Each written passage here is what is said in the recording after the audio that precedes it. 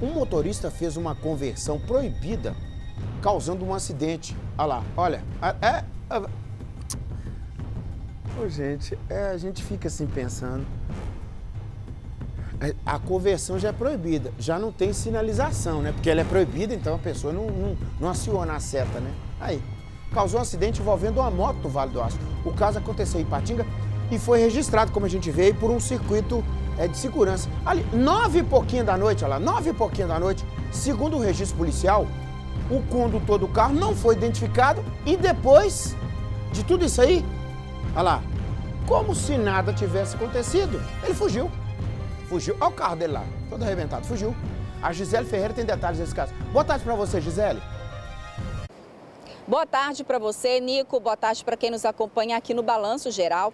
E eu já começo chamando as imagens do circuito de monitoramento que registrou o exato momento deste acidente ontem na Avenida Londrina, no bairro Veneza. Aí nas imagens a gente vê o momento em que o motociclista trafega pela Avenida Londrina e ele é surpreendido por um veículo, um carro que atravessa na frente dele e faz uma conversão. Neste momento, o motociclista não teve como evitar a batida aí, conforme a gente vê. Ele disse à polícia que imaginou que o, que, que o motorista fosse fazer uma, uma parada ali, porém, não, sem nenhuma sinalização, não teve nenhuma sinalização. Porém, Nico, tem um detalhe aí. Este, este condutor do veículo, do carro, fugiu do local. Testemunhas disseram que tentaram pará-lo, mas não conseguiu. Porém, há uma outra, um outro detalhe. Uma testemunha seguiu este motorista, viu até onde ele ia parar e conseguiu localizar o endereço. Os militares foram lá, conseguiram apreender o veículo que foi removido para o pátio credenciado do Detran, mas o motorista, o condutor, né, quem estava na condução do veículo, não foi encontrado. É uma situação, né, Nico, que precisa ser explicada aí questão de, de tempo de encontrar esse motorista para que ele preste esclarecimentos por que, que não prestou socorro devido ao motociclista que sofreu lesões, várias escoriações pelo corpo e foi levado para a UPA de Ipatinga. Volto com você. É, obrigado ao que você falou, Gisele. Pelo menos para prestar o esclarecimento, né, gente? Já fez a manobra que é proibida, a conversão é proibida. É tanto que o motociclista está tranquilo.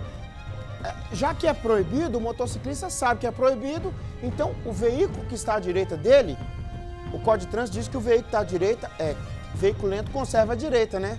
Então quem deixa a esquerda livre é para alguém passar com um pouquinho mais de velocidade. E é exatamente o que acontece ali. Quer dizer, então, pelo menos comparecer lá para dizer, olha, cometi esse erro gravíssimo, eu quero prestar assistência ao rapaz, saber como é que ele está, qual que é o endereço dele, estou à disposição das autoridades.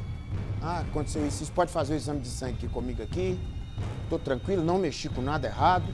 Eu simplesmente eu, eu esqueci. Eu, eu, eu, eu dispersei. Achei que eu estava em outro ponto e errei.